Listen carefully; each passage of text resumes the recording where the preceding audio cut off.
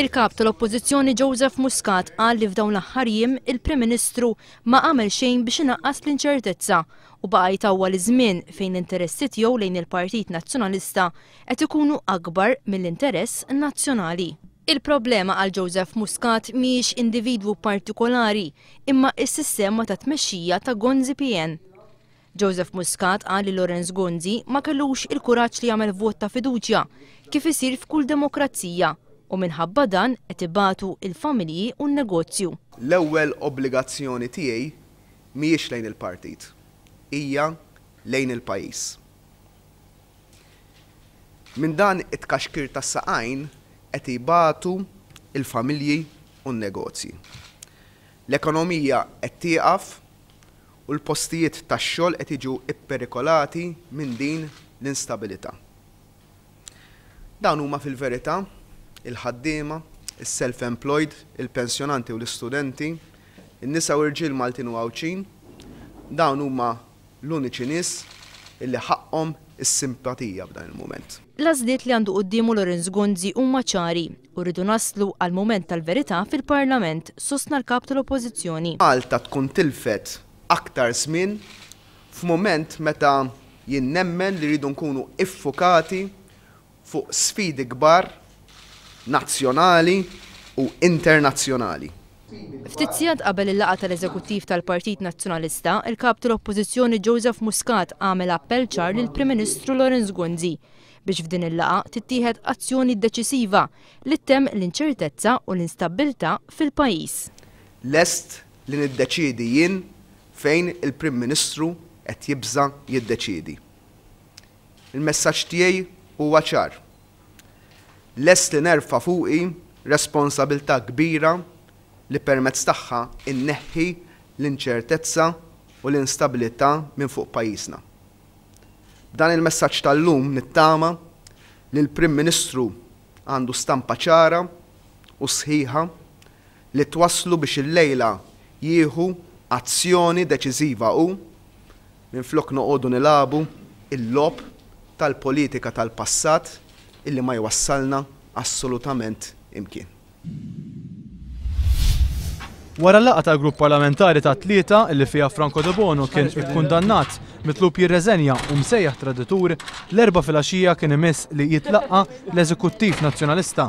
Wara laqgħa ta' tliet sigħat, il-President tal-Eżekuttiv tal-Partit Nazzjonalista, Marthe Sportelli, ħarġet quddiem id-Dar Ċentrali u ddikjarat li l-Eżekuttiv iddeċieda li jitlaqqa' Kunsill Ġenerali Straordinarju qabel id-29 tax-xahar. Bħala Kumitat Eżekuttiv iddiċudejna wkoll li l-Kunsill Ġenerali għandu jissejjaħ sa l-iktar tard id-29 ta' Jannar ovvjament ta' din is-sena. Marthe Sportelli qalet ukoll li l-Eżekuttiv ta l-appoġġ kollu tiegħu lil Lawrence Gonzi u talab lil Franco Debono biex jirriżenja. Ftit tal-ħin wara deher quddiem il-midja l-Prim Ministru Gonzi li wkoll reġa' talab għar-riżenja ta' Franco Debono. Qal li dan għandu jsir għaliex skont hu, Hekk jitolbu r-regoli tad-demokrazija.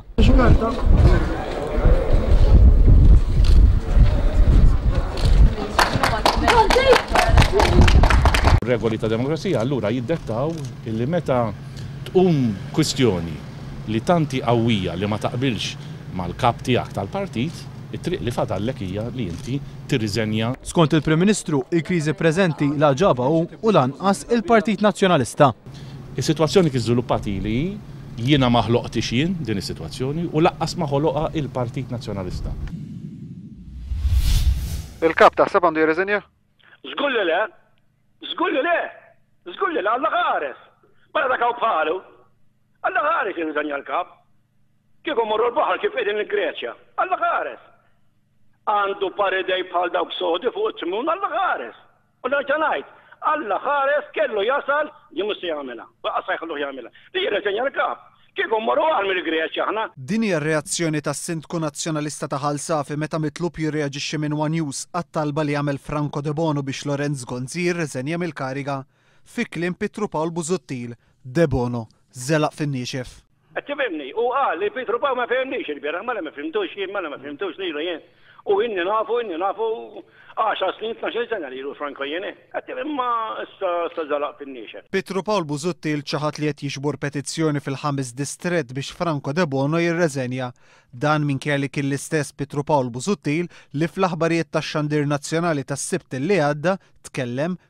f'isem din il-petizzjoni.